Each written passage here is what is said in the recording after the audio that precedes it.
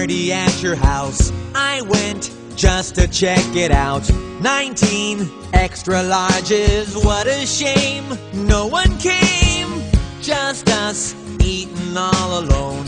You said, take the pizza home. No sense letting all this go to waste. So then I faced pizza all day and every day. This cheese round the clock is getting and I sure don't care for irregularity.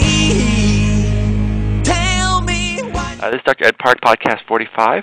Last last podcast for now. We might do a Where Are They Now podcast, but um, this is going to be kind of about constipation. Uh, so, first of all, we always talk about signs and symptoms and diseases. When you research this, you realize it's all three. It's both a symptom, meaning you know, like I feel constipated. It's a sign, you know, the doctor can palpate constipation both abdominally and also rectally. And it's a disease, according to people who make a living out of studying this. They they came up with these definitions: uh, straining with one fourth of your defecations, hard stools, incomplete evacuation, feeling of obstruction, needing to go in there and fish it out. Um, few, fewer than three bowel movements is a good definition per week, and it's not irritable bowel syndrome. So these are what they call the disease of constipation. The next uh, slide is the final slide of the podcast. Uh, what causes constipation and how do you cure it? So this would have been the world's shortest podcast if we just limited it to that. Uh, basically, uh, constipation is caused by low bulk. There's little volume in the intestinal tract, and with low bulk, you don't get stretching of the of the lumen or the tube, and there's no uh, there's no impetus to propel that poop forward. So you need bulk. So people who are dieting, they often don't have carbs or fiber, and so they have very little bulk, and they don't. Maybe they get dehydrated. So it's mostly water in the poop, and so um, when people stop the diuretics and eat a little bit of carbs or vegetables, then they will poop better. And uh, unfortunately, a lot of people diet and get on laxatives, and, and it's a vicious cycle of, uh, you know, uh, gastrointestinal dysfunction. Also, uh, low motility, which we talked about, you need stretching of the bowel to propel. Uh, also, when people are on chronic pain meds, it's a huge side effect of that. Uh, Vicodin, morphine, things like that. Uh, that will cause you to be very constipated. Um, antihistamines also cause um, constipation, although not so much the Claritin class, but the um, Benadryl type of thing. And then people who need to take seizure medications, who choose to take muscle relaxants, and who take the older class of antidepressants, tricyclics, also have problems. Um, the cure is to, uh, again, you can take milk of magnesia, which will the magnesium sucks in water from into the lumen, and that causes stretching. And you can also take uh, enemas to propel things, manually stimulate things from below. And um, also magnesia, also I think is a bit of a irritant. Some of the other things um, can cause um, the stuff to go down. Uh, also, a big question is cranial sacral innervation. So, when people have this severe defecatory dysfunction, they can uh, have a, a stimulator, like a little stimulator implanted. Um, we talked a little about a vagal nerve stimulator. This is something to get the sacral nerves propelling along. Exercise is great. Um, in pres- there are a couple of positions in yoga. Actually, all of yoga is good for uh, improving elimination. And then improving your mood will also help. People who are agitated, constantly up and down, um, they have what's called irritable bowel syndrome, and it really is a fancy term for people who are just uh, their emotions are interfering with the regular routine function. Also important to consider are obstructive causes of constipation, so you can get mass effects from uh, cancers. And also extrinsically, um, we used to do uh, gynecological surgery. Sometimes you get band-like adhesions, which will externally compress um, the bowel and cause obstruction. Also, you can get narrowing from different things. Um, like ulcerative colitis. Uh, but anyway, this is a whole area of specialty which we won't talk about. I do want, as we do with all these podcasts, to get everyone up to speed with the basics. So we're going to explain the basics of what goes on from the mouth to the anus. Um, when you come in, you got the teeth, the tongue, the palate, the oropharynx. It's all chewing and chomping. And then also in the parotid glands, the saliva has certain uh, enzymes. They end in ACE. So like uh, uh, lace is chewing up uh, sugar. And these things bathe and sort of uh, start the digestive process. The purple tube is the esophagus, where you put the sword when you swallow it. And um, this thing is really just supposed to be a smooth tube, but it is propulsive, so it gets you down into the stomach, which is the holding area.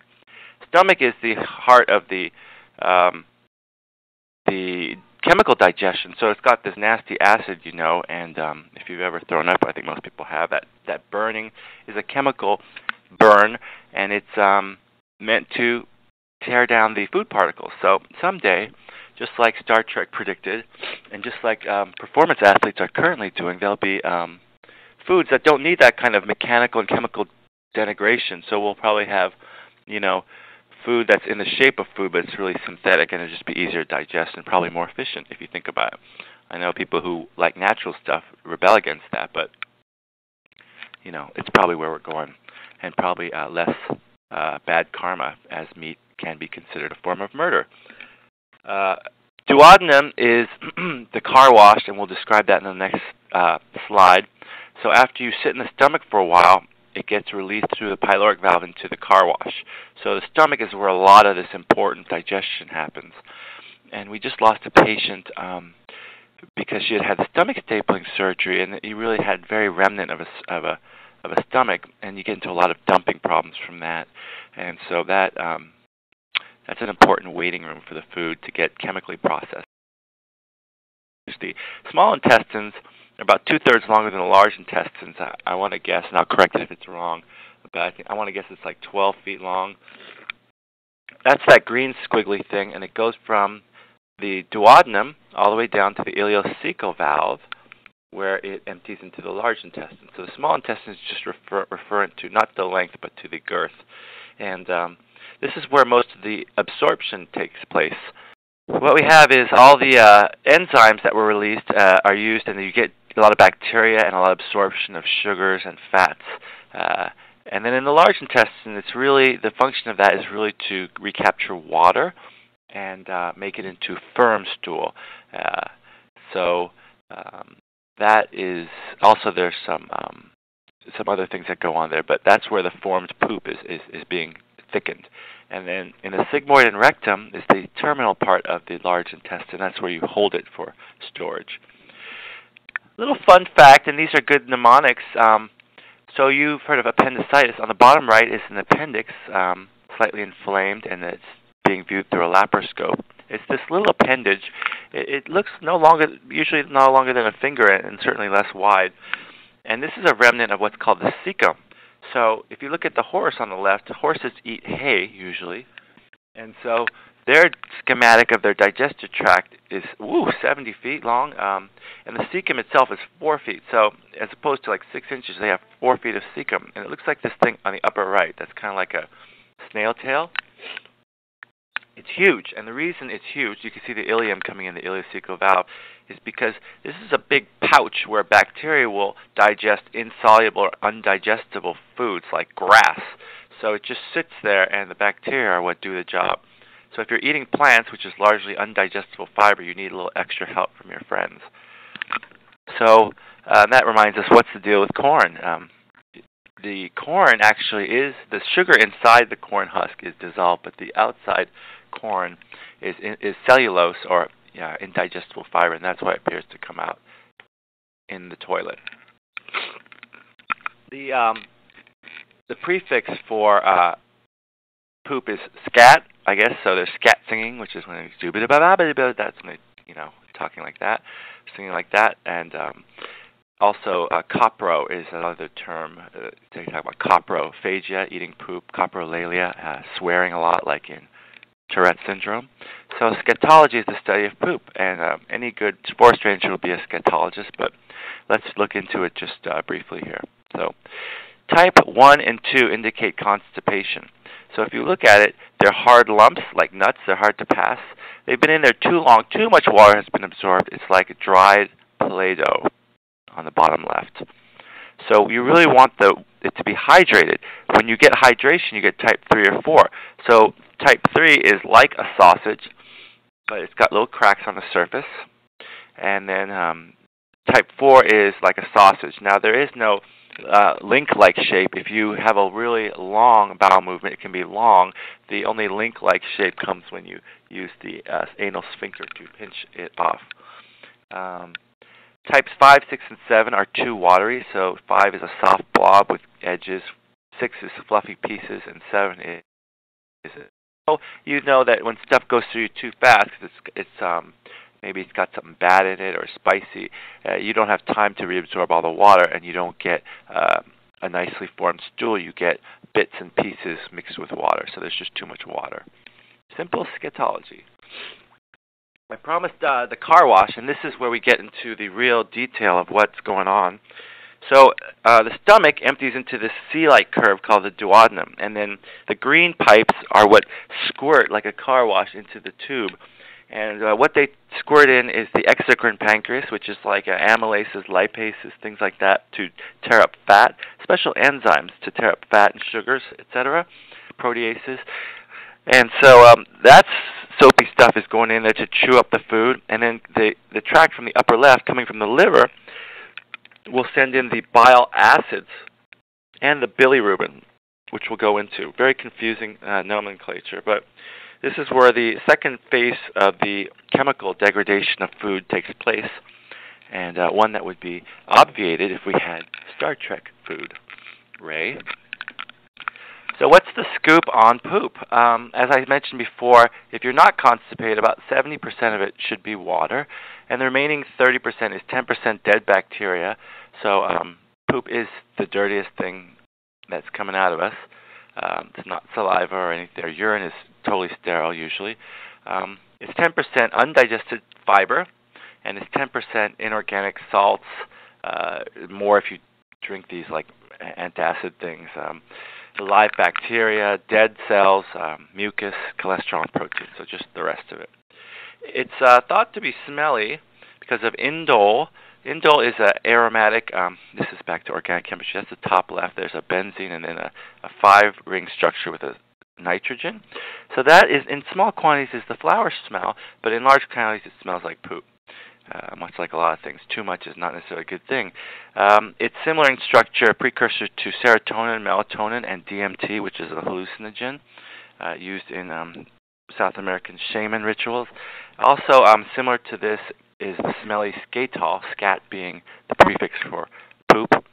And so uh, this is a breakdown product of tryptophan, and the bacteria break it down to that second molecule. The, the bottom molecule is a simple um, uh, methane thiol.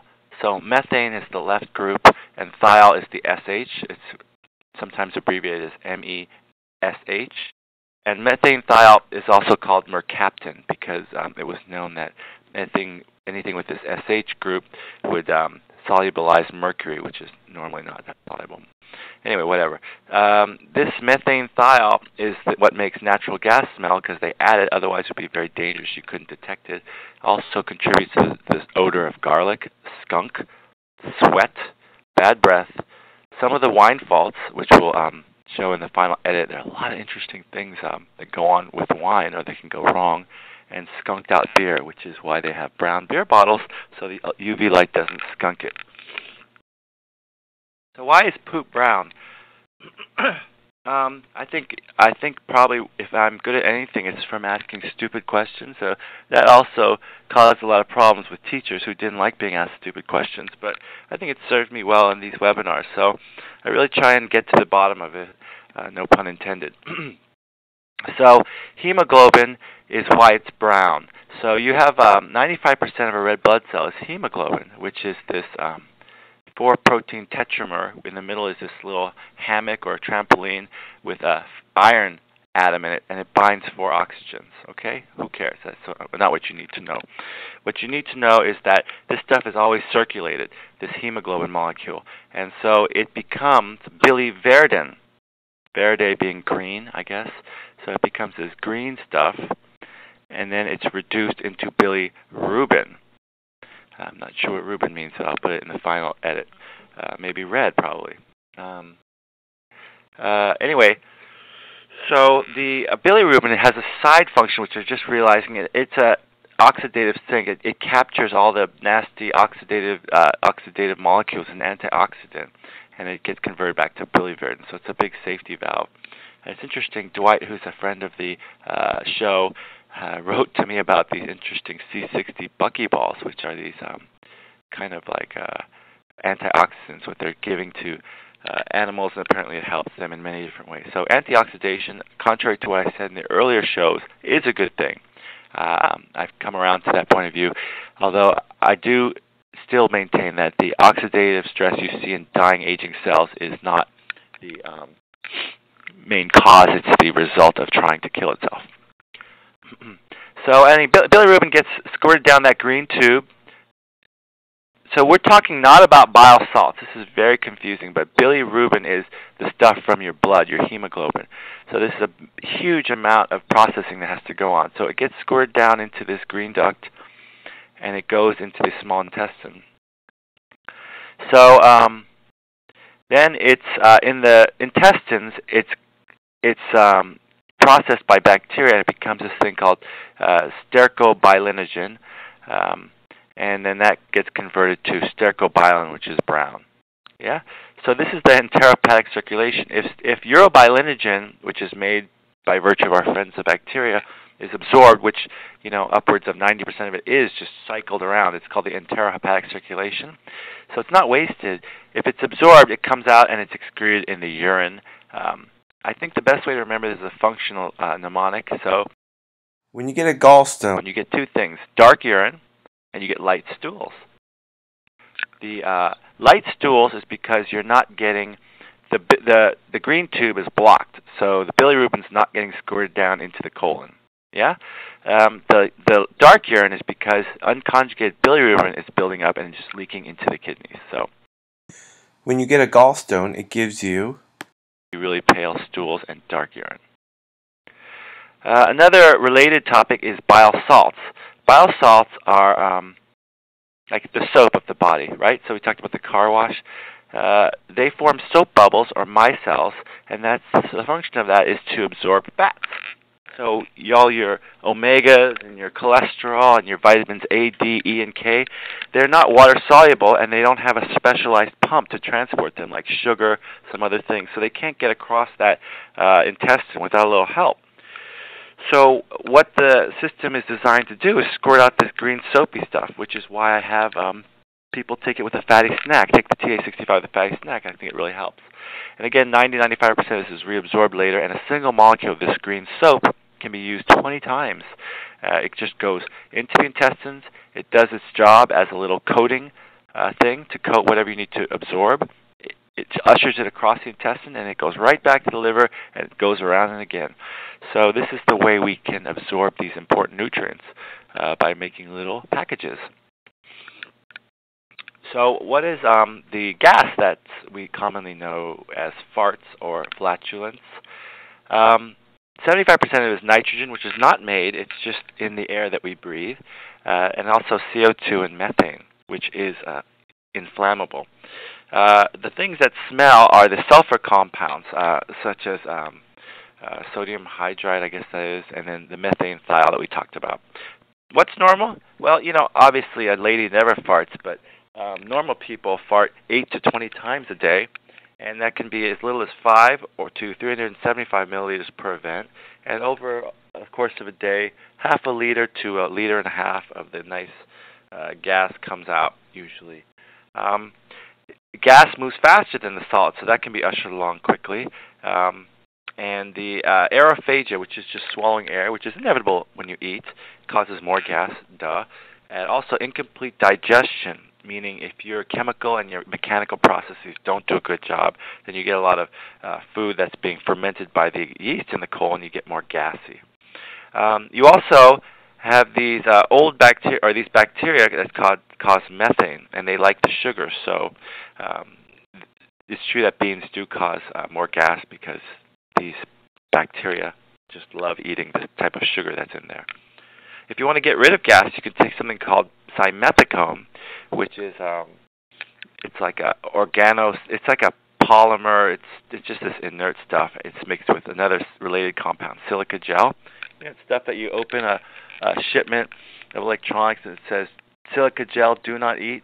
Well, apparently, you know, uh, it's inert, so it's generally regarded as safe to eat.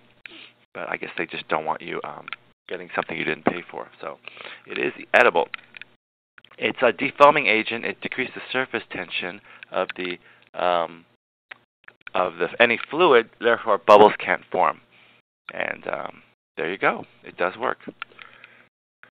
Here are some fun facts about scat. Um, bird poop is white because birds don't pee. Um, so there's some brown in there from the poop because they do poop, but the pee is uh, this uric acid paste. It's this water insoluble white paste. So that's how they get rid of their nitrogenous waste. Uh, again, like we reiterate, like we said before, the um, the bulk of the bulk comes from insoluble plant fiber. So uh, eat your veggies, and uh, bacteria are important because a lot of them will a lot of them will make vitamins and cofactors that we need to live. If a diet is um, high in fat, or you have a lot of aerophagia or um, undigested gas mixed in, they can float. And vegetarians' uh, poop does smell nicer because um, there's not as much uh, eggs, or at least meat has a lot of sulfides in it. So it's really all about the sulfur. Um, uh, this is mislabeled. It should be the enteric nervous system. Enteric nervous system is its own thing. It's actually older than your brain. Think about that. You know, you got little um, dumb worms and other organisms there. Basically, a food processing unit. They eat and they poop, and so um, the brain and all the subtle uh, nuances of our nervous system came later. So this pre-existing nervous system functions on its own, and we know that because when you have paraplegics, their digestive system works, and um, so uh, it's only influenced by this thing called the autonomic nervous system. So the autonomic nervous system is um, two parts. It's the relaxation, maybe let's say the cool down system, which is the parasympathetic, and it's identified also by its location. It comes out from the brain and the sacrum, so it's called craniosacral. And this parasympathetic uh, nerves uh, it's usually the vagus nerve. It's the vagus nerve, basically, uh, the wandering nerve, and that's what causes these things to work. So um, it in, encourages digestion, and uh, we also know that the enteric system is separate because if you cut the vagus nerve, your digestion still works. So it's an old system. Um, the thoracolumbar is the opposite. It um, stops digestion. So when you are flight or fight, uh, this is why your mom said don't s- swim after eating. It's true. Um, the, the sympathetic system gears up and it sends um, your glucose high. It sends blood to your heart, away from your kidneys and intestines, and to your muscles, so you can run away from that uh, tiger. So this stuff, the hot and the cold system, or the cold and the hot, does influence the enteric system quite a bit, and we know that. Um, you know, if you uh, if you uh, put your hand in warm water and you relax down, the craniosacral kicks in, and then also controlled is the bladder, so you could get someone to micturate during their sleep. Um, Nietzsche uh, said that you know he wrote a book. I guess it was called Beyond Good and Evil. So whenever I read these papers uh, on PubMed, they're always talking about, well, are things good? Are they evil? Now, I don't want to get too philosophical, but you know I will if you've heard any of these podcasts. Um, there's been a debate over H. pylori, which is the bacteria causing uh, stomach ulcers and other maladies. Um, there are, you know, probably thousands of bacteria, and certainly the bacteria in our bodies outnumber our cells by quite a bit. So you got to have something in there. Nature abhors a vacuum, and so um, it's not like it's good or bad. Too much of any good thing is a bad thing, as we know from the fragrance uh, talked about earlier, the indole. So you got to have something in there, and so there's a emerging consciousness of probiotics. Uh, you got to have something in there. It's a great example of good bacteria, if you want, would be the lactobacillus in the vagina. Um, this bacteria makes it acidic to kill all the other bacteria, make it a hostile environment. So um, there's got to be a nice balance, and we do things to take antibiotics, or if the immune system in the gut dysfunctions or malfunctions, then you run into problems with imbalance. And there are um, a lot of interesting topics which we could have gone into, such as um, uh, candida, uh, gluten, in, gluten insensitivity, and delayed IgG mediated um, problems. But these are kind of controversial and fringy, and maybe we'll discuss some later day. Uh, so a balance is what keeps us healthy. And um, there's there's an interesting case of Marguerite Nottingham, who I spoke to two weeks ago or last week, and um, she had had a terrible motor vehicle accident, and um, basically her stomach was punctured at a later date. They they left a pointy rib in, and it was punctured and um, leaked out and caused terrible peritonitis. Probably should have killed her. Probably, and um, instead they had to remove the majority of her stomach. So it was kind of like one of these um, bariatric surgeries, like the one that our um, patient Charlene had. And so, with very little stomach left, you don't chemically sterilize. So all the bacteria um, have a little party down there, and you get this thing. Um, you get sick. It's like a, a feast of bacteria. So when you take the antibiotics to kill the bacteria, it begets this other problem. There's this tough mother called Clostridium difficile. Difficile, I guess, meaning difficult. And it forms this disease called pseudomembranous enterocolitis, which is something that is in the differential for all residents when you're ca- called for a fever of unknown origin, because so many of these hospitalized patients are on antibiotics. So you get this um, terrible infection, and she was battling this Clostridium infection um, chronically, and so much so she had to take oral uh, vancomycin and flagyl. Uh, I think maybe gent. I'm not sure. Uh, anyway, these are jargony things. She had to take big time antibiotics. So again, out of balance, the lack of an anatomic sterilization from her stomach meant that bacteria were going crazy, and the lesser of two evils was to take chronic antibiotics to control her C. diff. Now, she believes, and I'm not necessarily endorsing this, that starting the TA65 restored some kind of balance, either in the flora, or in her immunity, or in the function. But um, right after taking the TA65, she got off her antibiotics and is as happy as can be. Doctor, when I start the TA65, at that time, literally thought I did not have too much or too long to go. Today, if you ask me, I am going to tell you I have a long time to go. I I feel I am still young. I am young, but look, then you wanna have a nice clothes and you wanna, uh, and today not important. For me, it's more important. Oh my God, I am waking up. I am okay. I am alive. Yeah. And what had made me to go back to normal? TA65. Wow. That's so had made me to get to normal doctor and had given me life. The TA65 has. Yeah. So I am elated because of that. Good. I'm so happy. Well, good. Keep it up then.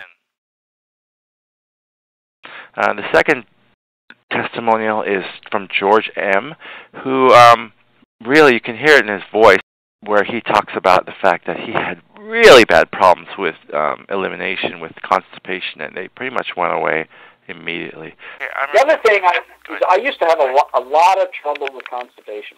Um, and, and, and I am much, much more regular now. I mean, I had tried a lot of things to solve that. Nothing worked. Hmm.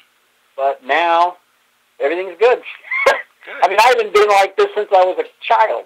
Wow. I mean, it's, it's uh, I mean, there, there are de- definitive, say the most of my changes are in my, like, you know, in my stomach, and just the way my body processes food is just different.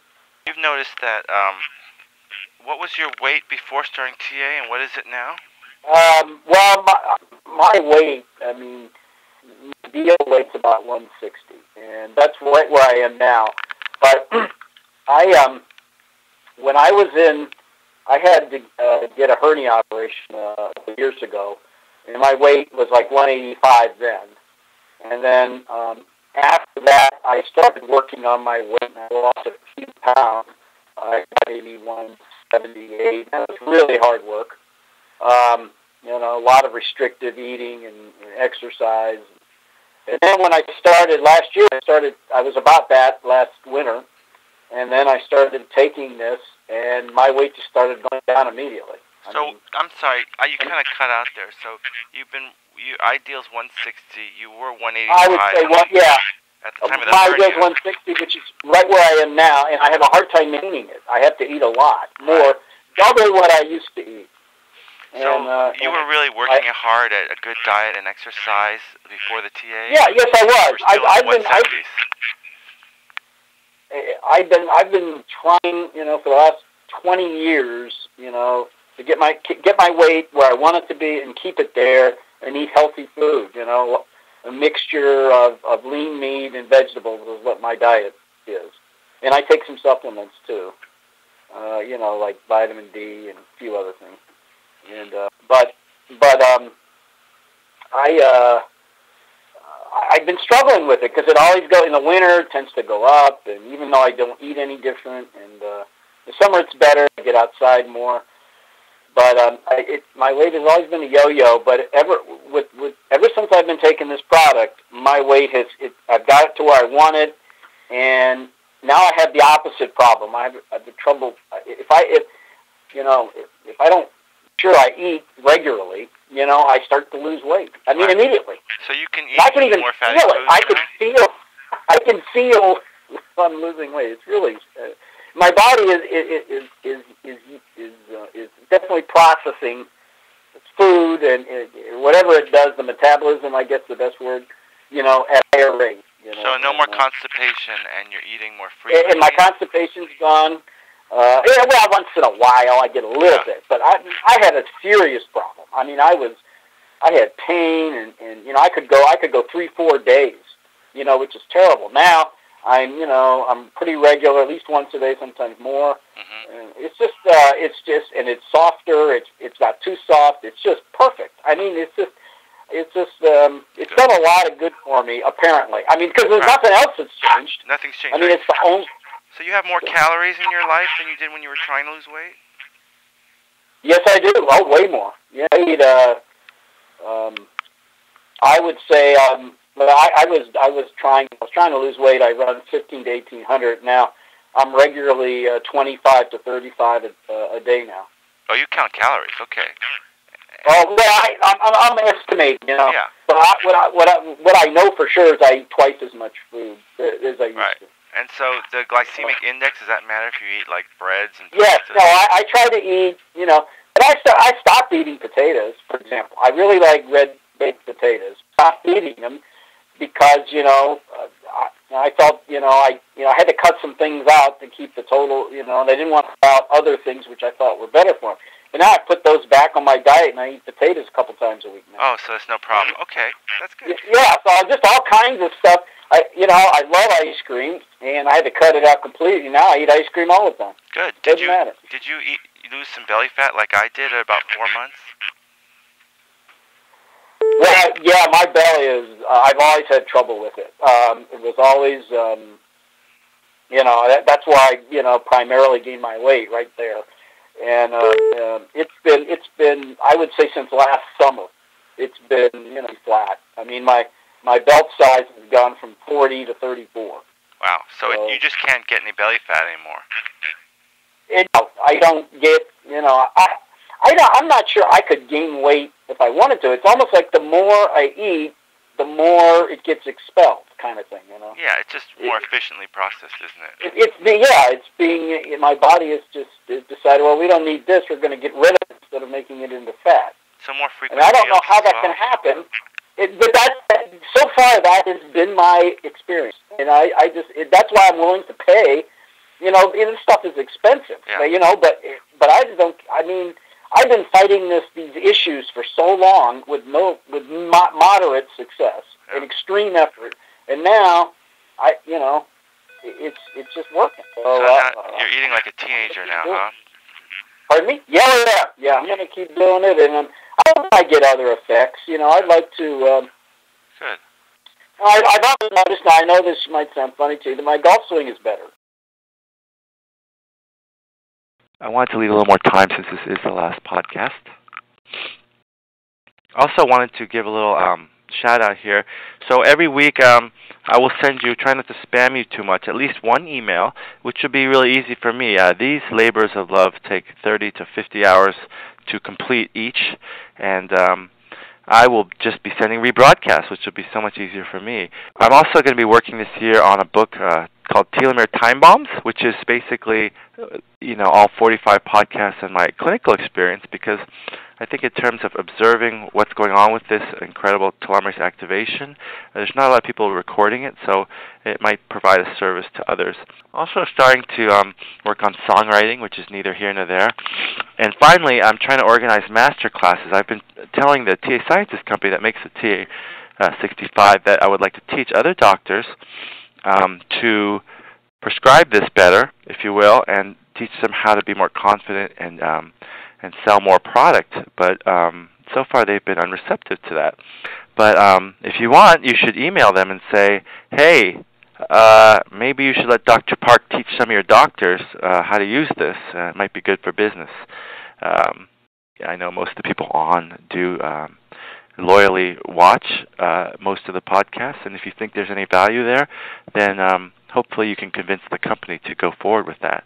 Because um, again, I I don't view it as competition. I think there are seven billion patients. It's plenty for everyone, and I just want to get to uh, uh, the tipping point before somebody tries to outlaw this, because I do think it's a great boon for for us.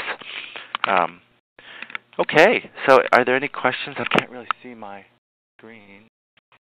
We do have a drawing. Susie has done her drawing. You want me to read them out? What was the first one? Andrew Davinskis? Uh, Ruth Allen. Oh, Ruth Allen's on. Hey, Tom France joined the meeting. Let's see, Maria Miller, winner number three. Oh, and importantly, we will be doing the drawings every um, month. Um, just to be cute, I won't tell you which email has the winner in it, and um, so you'll open them all, hopefully. Um, and if your name is on there, you will have uh, 24 hours. You, if we don't hear from you, we'll go to number two on the list, then number three, number four, number five. Everybody on the newsletter uh, subscriber list does have a raffle ticket number. Bobby Wilder wants to talk. Let's see, Bobby. He was featured in. What did we talk about with Bob? Oh, he just. It was at the end of the fibromyalgia. He just called in. Yeah. Let's see what Bobby has to say. Yes, sir. How are you? Oh. Good. Um, hey, thank you. I, I've been taking the TA65 for the last two weeks here, and it's yeah. It's, how's that going? It's been amazing. I mean, um, I'm having these vivid dreams every night, and it's it's just. uh, which is quite unusual because you know I don't I don't normally dream, and so and uh, you know I I take it with uh, either some yogurt or some uh, whole milk at night, and um, you know, I'd wake up like three or four times right in between every REM cycle, and um, and then that that allowed me to remember the cycle before, so I could remember several dreams in the night, and so it was just truly amazing. Yeah. Well, I mean, it was much easier for you because we told you that was going to happen, right? Can you imagine if you didn't know that was going to happen? The mind can wander. People get really concerned. Uh, yeah, yeah. If if I didn't, it'll if, stop. It'll stop happening.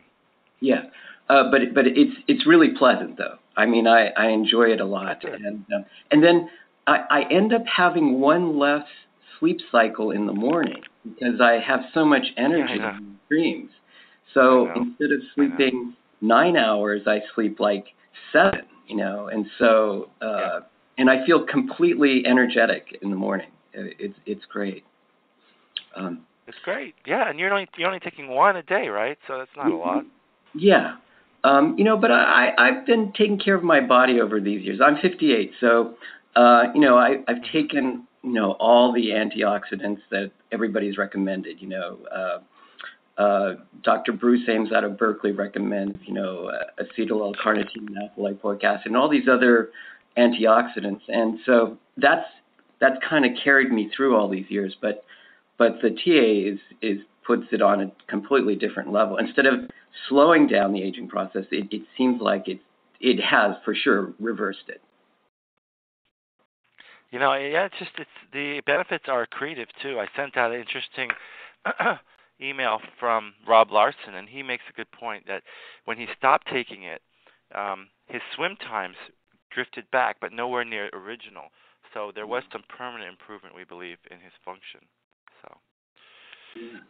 Cool. Well, I'm glad you're taking it. That's great. And um, really, I guess it was Kismet. Thanks for Facebook friending me with all your buds there too. yeah. So uh, I, I, I mean, that. Uh, there's there's going to be uh, I, you know everybody wants to live a healthier, longer life, and so you know it's yeah. I there's some people that definitely need to hear this, and um, I it it's it's so amazing how few people in the world understand what's this revolution that's going on and this activating your telomerase.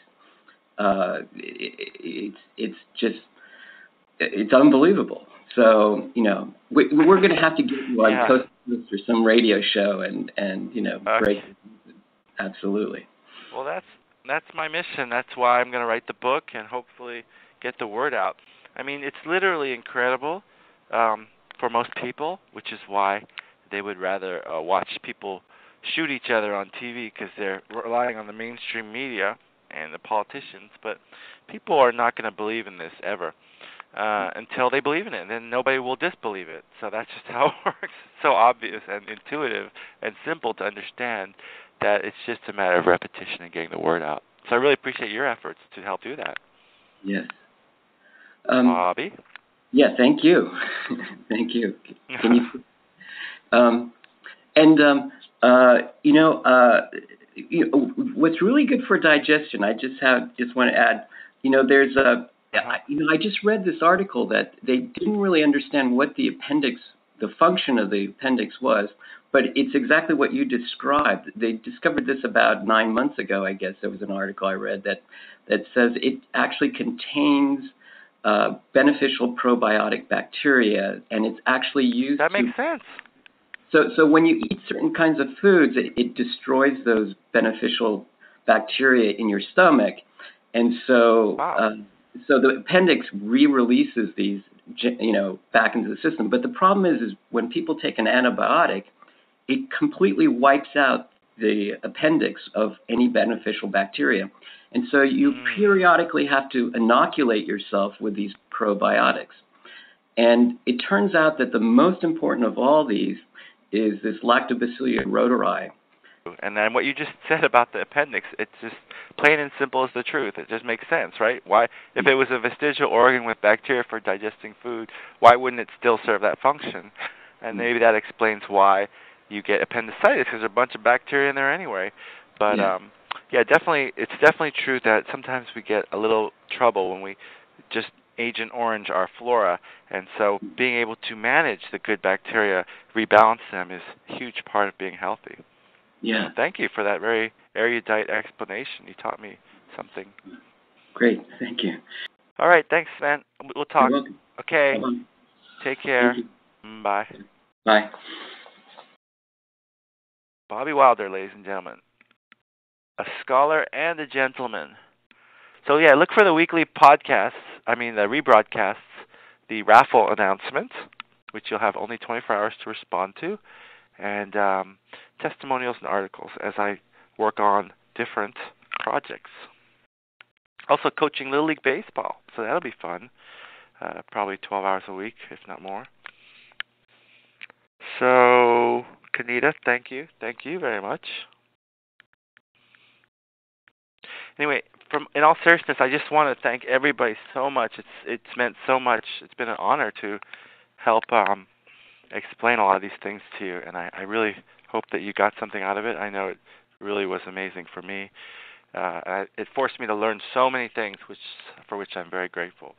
And um, thank you. Why'd you have to go and make me so constipated?